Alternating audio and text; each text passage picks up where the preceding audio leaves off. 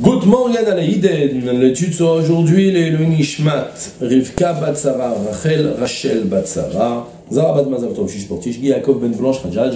Si vous souhaitez aussi dédier une prochaine étude de Mishnah, contactez le 5 minutes éternelles. Nous étudions Baba Metsia Perikiu de Mishnah Bet, Abait Ve Aliyah Shel Shnaim, Nifrata Aliyah Ve'en Balabait Rosel Etaken. הרי בעל עלייה יורד ודר למטה עד שיתקן לו את העלייה. רבי יוסי אומר, התחתון נותן את התקרה une même situation avec deux halachot. On commence par lire, et traduire la première Mishnah, la première partie.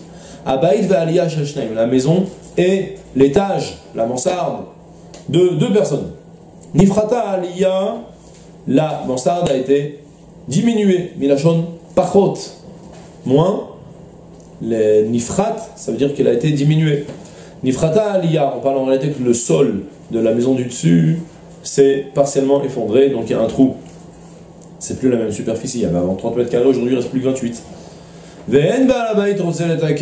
Et alors là, le propriétaire du dessous ne veut pas réparer son plafond, qui est le sol de la maison du dessus. La Mishnah nous enseigne, le celui qui habite au-dessus dans la mansarde, descend et s'installe dans la maison du dessous.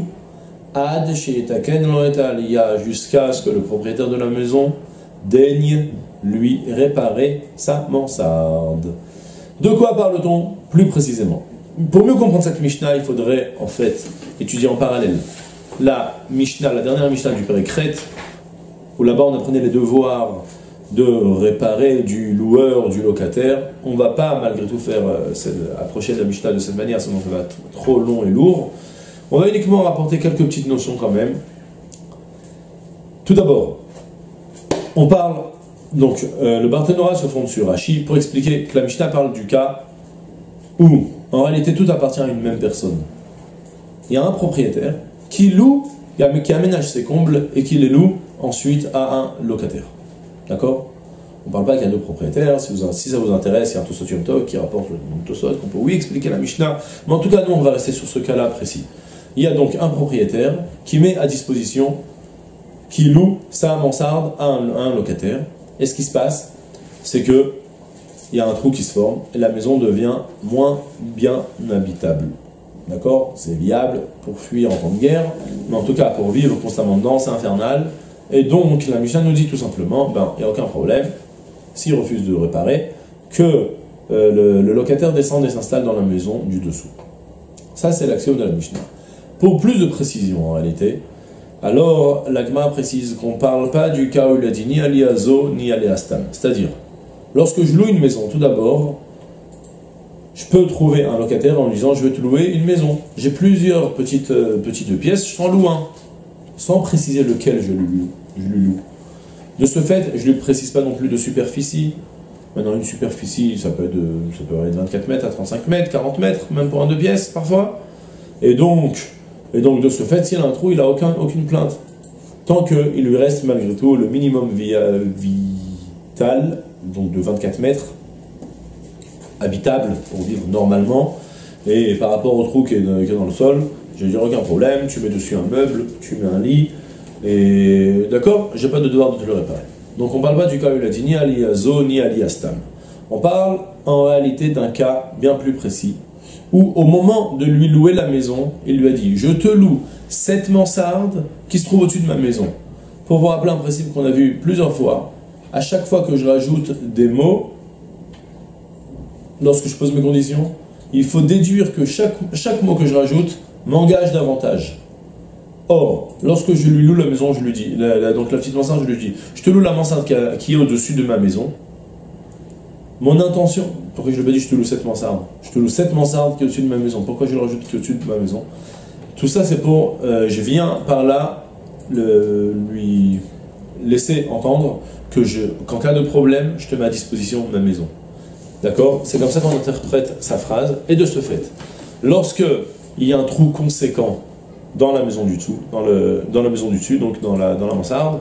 Dès qu'il y aura un trou conséquent, qu'on va préciser dans quelques secondes, alors elle perd de son habitation, elle est moins agréable, c'est le nom d'habitation a été diminué, d'accord, après un coup, et de ce fait, il va lui dire on avait parlé d'une maison, ça c'est plus une maison où il y a un trou pareil, on avait parlé de cette maison-là, c'est plus cette maison-là, je descends et je m'installe en bas, je suis pas d'accord, il pourra même pas lui mettre à disposition quelques mètres carrés. Supposons par exemple que par exemple, il va lui dire bah, c'est pas grave, reste toi, tu dors dans ta chambre à coucher là-haut, et quand tu veux manger dans le salon, je t'organise une pièce de chez moi et tu viens et tu manges dedans. Même ça, il pourra pas le faire parce qu'il va lui dire non, non, moi je vais habiter dans une seule, sur un seul étage, on a parlé d'une maison, une maison, une maison. La maison du dessus, elle est plus habitable, tu me laisses ta maison d'en bas. La Gemara parle, évoque le cas, est-ce qu'ils vivent ensemble, est-ce qu'il va devrait lui laisser toute la maison pour lui tout seul. Je crois que ça se finit un petit peu en, en teco, non tranché. En tout cas, pour notre propos, donc on a expliqué la Mishnah, c'est clair. Maintenant, on doit rajouter un détail important, c'est quoi un trou conséquent? Ça, une petite discussion dans la Gemara. On retient l'avis de Shmuel qui nous dit Arbat Fahim al Arbat Fahim. De manière générale, dans toute la Torah, lorsqu'on parle d'un lieu important, Makom Chashuv, un endroit important, alors ça va inclure un endroit qui fait 4 Tfahim sur 4 Fahim au minimum. Un Tefar, c'est un point, donc ça fait 10 cm, 9 cm, 10,2, 10,4, je sais plus. Il y a plusieurs, euh, plusieurs avis, mais en tout cas, l'équivalent de 40 cm sur 40 cm, c'est un makom chashuv. Donc, si tu as un trou qui fait uniquement un seul tefar, 10 cm sur 10 cm, sur ça, je te dis, mets une chaussure, mets un meuble dessus, mais ne viens pas me voir, à partir du moment où tu as un trou conséquent, alors maintenant ta maison a perdu donc, de son caractère de, d'habitation agréable. De ce fait, tu as le droit de venir t'installer chez moi dans ma maison du dessous. Voilà pour l'essentiel de la Mishnah, de la première partie. Et maintenant, on passe à la suite de la Mishnah. On commence par traduire et ensuite on introduit et on explique. Rabbi Yossi Omer, Tarton noten atatikra, et amaziva. Rabbi Yossi enseigne. L'habitant, celui qui habite en bas, devra donner les, la tikra, le plafond, les poutres, mais la chambre Korah, ça, vient, ça va ensemble. Tikra, Korah, des poutres et celui qui habite au-dessus, donc le locataire, devra donner lui le, la ma'aziva, c'est le revêtement du sol, le mortier, le, ciment. D'accord? D'abord, de quoi on parle exactement? À l'époque, on construisait des maisons avec du bois, des poutres de bois, qu'on collait assez bien, et ensuite, on passait une couche de mortier, de ciment, pour aplanir le tout et avoir un sol relativement agréable. On va d'abord maintenant, avant d'expliquer la Mishnah, regardez, il y a Rabbi aussi qui parle, on ne comprend pas tellement de quoi parle Rabbi aussi, puisque qui a parlé du problème des, matériaux de construction. En réalité, on déduit qu'il y a un avis qui discute, c'est l'avis de Tanakama, même c'est tacite, c'est pas explicite du tout. D'accord? Mais pour comprendre d'abord de quoi il parle exactement, on va poser un axiome général. Une chose de claire, lorsque je loue une maison, alors je dois mettre à disposition une maison habitable. Maintenant, Dès qu'il va, y, donc, dès qu'il va y avoir un nom d'habitation normal, moi, j'ai accompli mon devoir de te mettre à disposition une maison. Ne viens pas te plaindre parce qu'il y a une partie de la peinture qui est tombée quelque part. Je n'ai pas de devoir de venir te peindre, par exemple. C'est une notion générale. C'est une maison habitable. Selon ce principe, lorsque l'on a sur le sol, on a des poutres sur lesquelles on met un revêtement une petite couche de ciment pour que ce soit un parterre lisse. Pourquoi rajoute-t-on cette couche de ciment? Est-ce que c'est pour avoir un sol agréable ou est-ce qu'on le met plutôt pour renforcer les poutres? Et c'est en cela précisément qu'il y a une discussion entre Tanakama et Rabbi aussi. Tanakama, donc on a dit implicite, et Rabbi aussi explicite. Selon Tanakama, on considère que qu'on rajoute ce revêtement pour renforcer les poutres. Étant donné qu'elles peuvent éventuellement bouger, se déplacer un petit peu, pour bien les fixer, les stabiliser, on rajoute une couche de ciment dessus.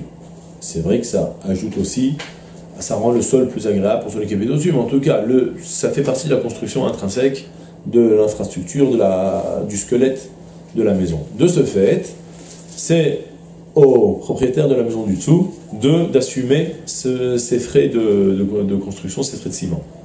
Il doit lui construire tout son plafond. Son plafond, ça implique à la fois les poutres et aussi ce revêtement, puisque ce revêtement est utile pour les poutres. Selon Rabbi aussi, c'est de la décoration d'intérieur déjà. Et puisque c'est de la décoration d'intérieur, ça ne compte plus au propriétaire de la maison du dessous, mais au locataire qui habite au-dessus. Soit le propriétaire du dessous met ses poutres et celui du dessus amène ensuite ce ciment et s'amuse lui à le badigeonner et à l'étaler. Et c'est tout, tout simplement. Précision importante maintenant du Tiferet d'Israël, j'ai vu personne qui soulève cette question, c'est une question très pertinente. Juste, je le rapporte tel quel, il y a peut-être lieu de discuter dessus, mais en tout cas, tel que c'est rapporté. On apprenait malgré tout une notion importante dans la Mishnah de, donc de fin de Péricrète, que tout toute réparation qui demande l'intervention d'un artisan, d'un professionnel, alors c'est au propriétaire, au, loueur de la maison d'assumer ses frais. En l'occurrence, si un robinet cassé dans la maison, c'est au loueur d'apporter, puisque une personne normale ne sait pas lui-même changer un robinet convenablement, il va sans d'accord, c'est pas un problème juste de dévisser et revisser, il faut aussi savoir mettre un petit peu le, le téflon dessus pour que ça qu'il n'y ait pas de fuite et tout ça. C'est un travail relativement professionnel, même s'il y a plusieurs amateurs qui savent le faire, même moi. Mais en tout cas, c'est relativement professionnel. De ce fait, c'est au propriétaire d'assumer ses, frais. Par contre, si c'est quelque chose de, d'accord, quelque chose de plus bénin, donc dans ce cas-là, c'est au locataire de, au locataire de le faire lui-même. Ça, c'est une notion qu'on apprenait. En confrontation avec ici, on a un petit problème technique. Pourquoi ce serait au locataire du dessus, donc, de mettre cette couche de ciment? C'est pas logique, c'est quand même du travail professionnel. Il déduit le titre d'Israël qu'on parle forcément cette couche de ciment, c'est pas du travail professionnel. C'est vraiment quelque chose qu'on étale de manière grossière et on a fini l'histoire, on, on clôt l'histoire avec ça. De ce fait, puisque c'est un travail d'amateur, puisque ça n'incombe plus au propriétaire de la maison du dessus, du dessous, c'est au locataire d'assumer ce travail et d'assumer les frais que ça implique. On a fini la Mishnah, enfin présent le Barthénora. Abaït ve'a aliyah, la maison et la mansarde. Amaskir la chavero aliyah shalgabe beto, celui qui loue à son ami la mansarde qui est au-dessus de, sa maison. Et alors là, le Barthénora nous précise la fameuse phrase qu'il lui dit.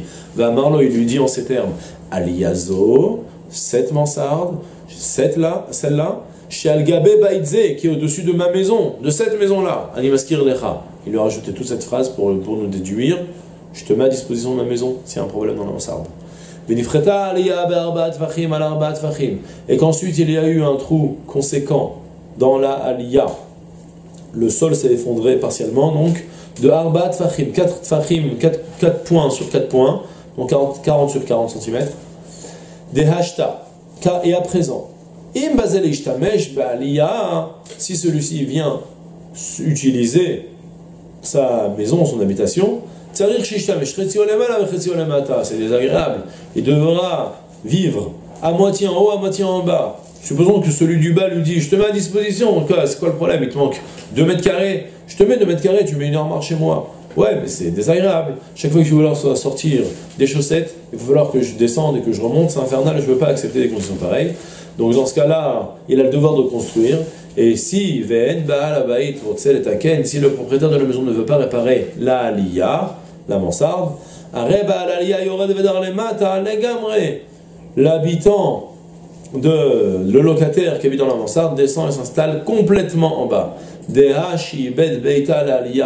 Car le propriétaire de la maison a engagé sa maison pour la mansarde, en rajoutant les fameux mots Ali Azosh lui a dit Je te la mets à disposition complètement, je l'engage complètement.